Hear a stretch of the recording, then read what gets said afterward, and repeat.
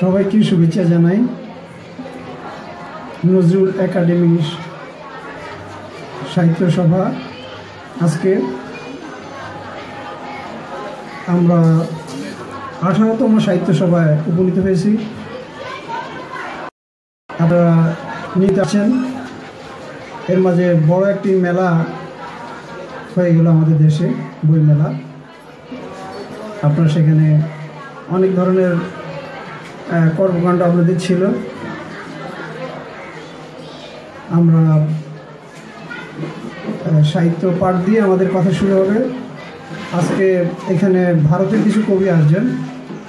আমাদের ডাক্তার আবদুল্লাহ মুক্তাদি ভাষা আন্দোলন স্মৃতি রক্ষা পরিষদের পক্ষ থেকে কিছু কবিকে আমন্ত্রণ দিয়ে নিয়ে আসছেন। আমি বলছি, আসো, অসুবিধা নেই। মিটু রহমান ভাই আমাদের এই নজরুল একাডেমির সম্মানিত সাধারণ সম্পাদক নজরুল সংগীত শিল্পী। এবং এখানে একটা সংগীত পাড়া, অনেক কাজ হচ্ছে আমরা দেখতে পাচ্ছি। সামনে আরও বেশি সুন্দর কাজ হবে। আমরা কবিদের জন্য একটি চমৎকার জায়গা হচ্ছে। এটা আমরা আমাদের প্রাণের জায়গা, নজরুলের যে চিন্তা, নজরুলের যে বিশ্বাস আমরা সে বিশ্বাস মনে প্রাণে পোষণ করি। আজকে আমরা সাহিত্য পাঠ নজরুলের বিদ্রোহী কবিতার উপর আলোচনা, এগুলি চলবে, আমাদের লেখা পাঠও চলবে। তো সূচনা বক্তব্য রাখছেন আমাদের এই সভার সম্মানিত সভাপতি, বিশিষ্ট সাংস্কৃতিক ব্যক্তিত্ব মানে পায়ের নখ থেকে মাথার চুল পর্যন্ত যার সাহিত্যে ভরা, সংস্কৃতিতে ভরা এবং এই মানে ঠিকমতো ঘুমালেও এই সাহিত্য জগৎ নিয়ে ভাবেন। আমাদের মোহাম্মদ আব্দুল হানান ভাই, তিনি সূচনা বক্তব্য দিচ্ছেন, তার বক্তব্যের মধ্যে দিয়ে, মধ্য দিয়ে আমাদের সাহিত্য সভা অনুষ্ঠান শুরু হয়ে যাবে।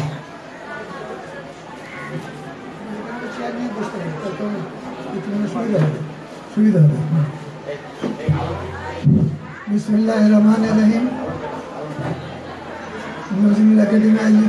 নিয়মিত মাসিক সাহিত্য আড্ডায় সম্মানিত উপস্থিতি আসসালামু আলাইকুম।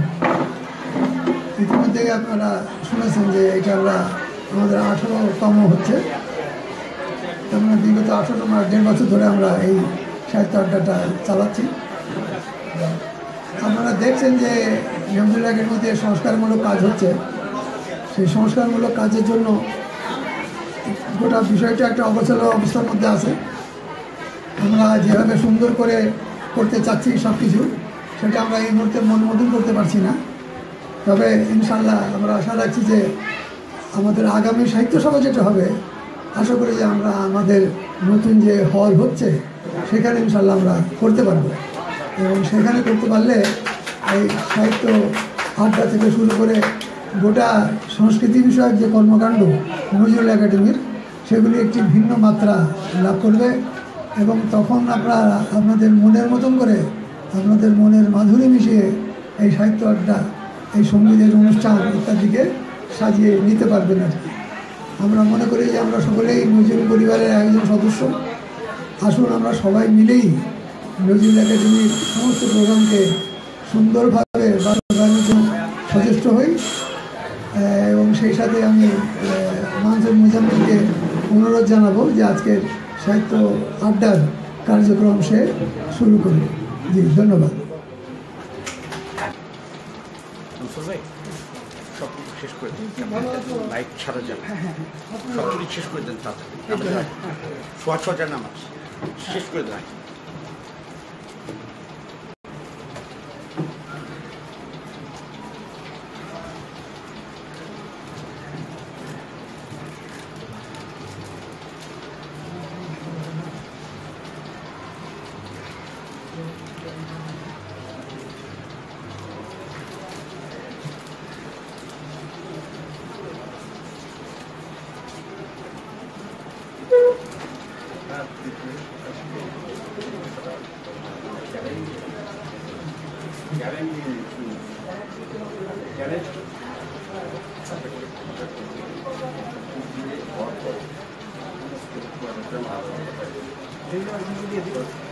না হয়েছে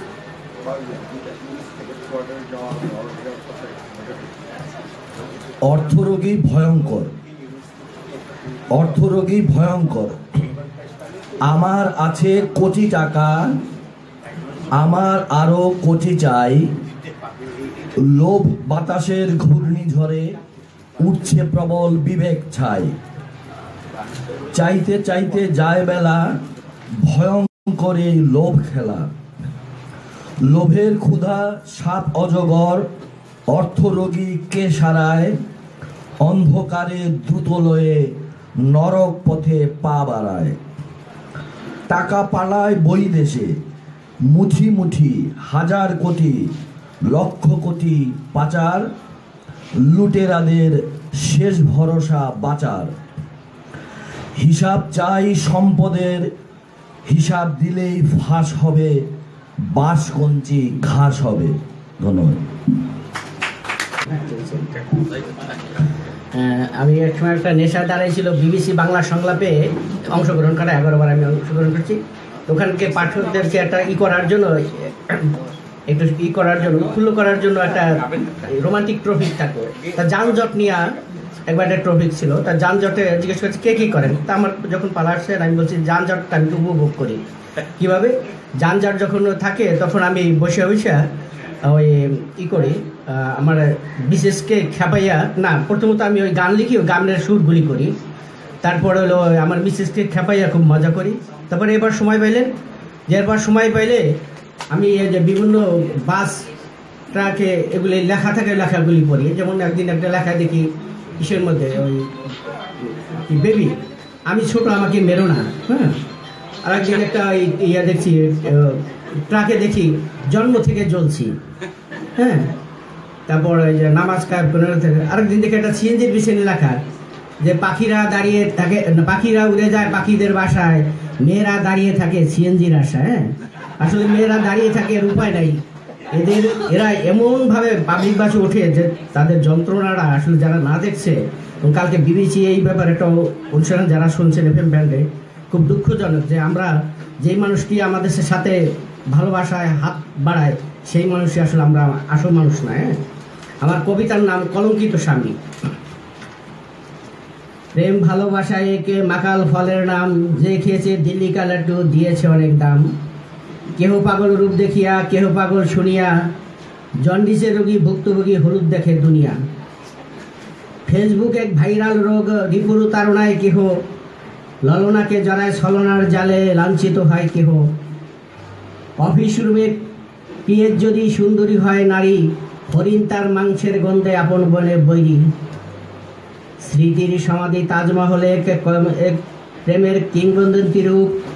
প্রেমে রেখেছে হেরেমে বন্দি ইতিহাস নিশ্চুপ আনন্দ বেদনায় ভালোবাসায় নারী, পুরুষের জীবন সঙ্গী।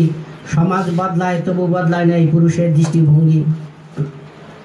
নারী মুক্তির আন্দোলনে মিছিল মিটিং করে, সেই পুরুষটি বাসায় এসে বউকে পিটায় ঘরে।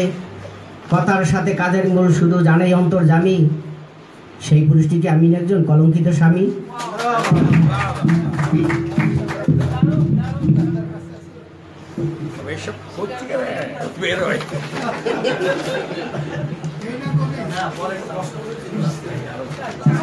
রসিক মানুষ। আসছেন বেলায়েত ফোকরাজ। এরপরে আসবেন রোকেয়া পারভিন।